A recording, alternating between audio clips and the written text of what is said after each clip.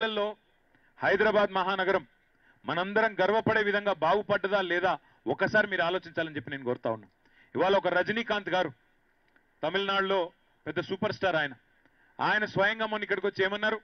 నేను ఇరవై ఇరవై రెండేళ్ళ తర్వాత హైదరాబాద్కి వచ్చినాను. హైదరాబాద్కి వస్తే కొన్ని ప్రాంతాలు తిరిగితే ఇది మన దేశంలో ఉన్నదా లేక న్యూయార్క్ నగరమా అనే స్థాయిలో మారిపోయింది మీ హైదరాబాద్ అనే మాట ఇవాళ తమిళనాడు నుంచి వచ్చిన రజనీకాంత్ గారు చెప్తా ఉన్నారు. మొన్న సినిమా యాక్టర్ ఒక అమ్మాయి లయా అని ఉంటుంది. ఆ అమ్మాయి కూడా చాలా రోజుల తర్వాత అమెరికాలో ఉంటుంది. ఈ మధ్యలోనే హైదరాబాద్ తిరిగి వచ్చింది. ఆ అమ్మాయి కూడా అదే మాట అన్నది.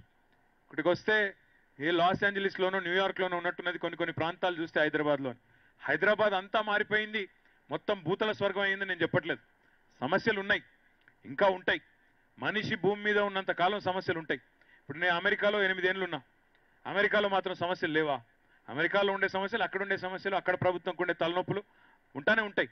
మనం ఎన్ని రోజులు కనీస మౌలిక వసతులు మంచినీళ్ళు కానీ కరెంటు కానీ అదేవిధంగా ప్రజలకు ఉపయోగపడే ఇట్లాంటి వైకుంఠ ధామాలు మహాపరినిర్వాణ లాంటి చక్కటి కార్యక్రమాలు కానీ ఇవన్నీ కూడా ప్రజల మౌలిక అవస- వసతులు అవసరాలు వీటి మీద దృష్టి పెట్టి పనిచేయడం అనేది ఏదైతున్నదో మాకు గౌరవ ముఖ్యమంత్రి కేసీఆర్ గారు అలవాటు చేసినారు.